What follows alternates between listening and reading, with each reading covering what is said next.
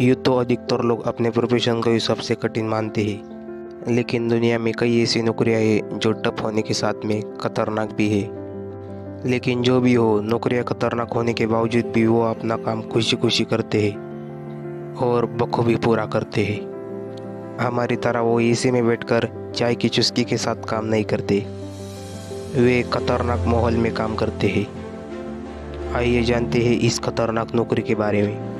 Christ Redeemer statue 220 feet ऊंचाई पर बनाया जिसे क्राइस्ट का चर्च स्टैचू सन 2007 में बिजली की मार का शिकार हो गया था।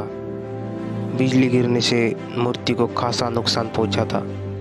जब इसे रिपेयर करने के लिए मात्र लोगों को 124 फुट मूर्ति पर चढ़कर उसके हाथों से, जो कि बहुत शक्र है, उनसे उनसे होते हुए उंगलियों को सुधार का काम मिला। तब अच्छे अच्छे पानी भर गई। तब इन्होंने दुनिया के बेस्ट समुदाय को काम करने का मौका दिया। और देखिए, कैसे जान हथेली पर रखकर ये शख्स काम कर रहे हैं। हमारी नज़र में रोजी रोटी कमाने का बहुत खतरनाक ज़रिया मालूम होता है। तो दोस्तों, इसी ही और वीडियो के लिए चैनल को सब्सक्राइब करना मत भूलना।